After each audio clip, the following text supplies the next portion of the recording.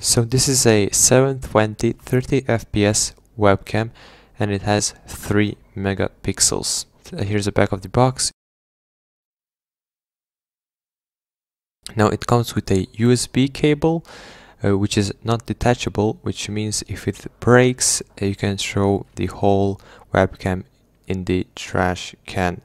So here's the back of it, you see it's not detachable. Uh, now uh, here is how it looks like when you mount it on your monitor.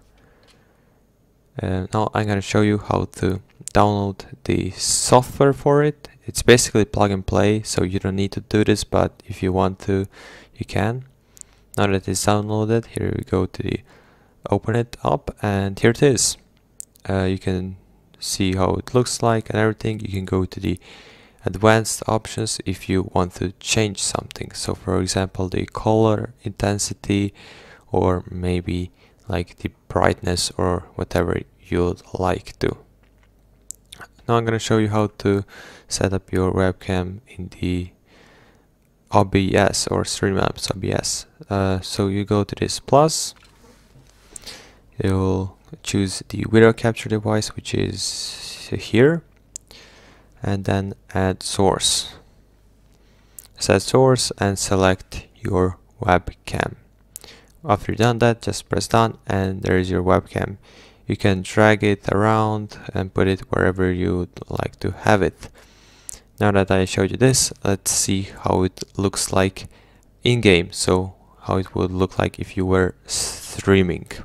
Now we're in CSGO and this is how it would look like if you were streaming with this webcam.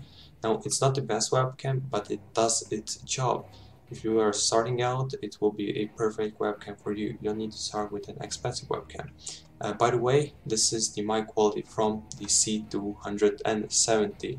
Let me know if you like it or not. I personally don't use it. I have a separate microphone so yeah. Uh, if you are going to use it this is how it will sound like.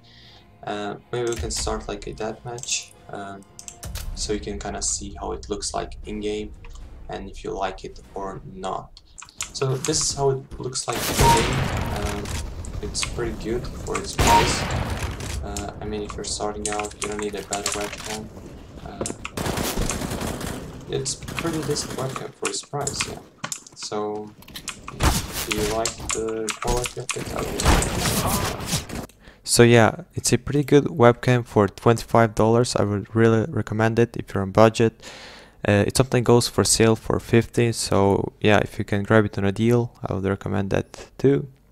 Uh, if you have more money to spend, I would recommend the C920. It has much better quality, so yeah. But this is also a really good webcam for its price.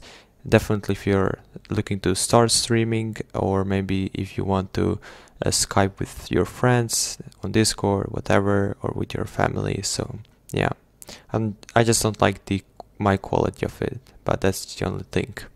So yeah, if you like this video, like, maybe subscribe if you want to, comment something down below, recommend me a next video, and yeah, I'll see you next video. Goodbye.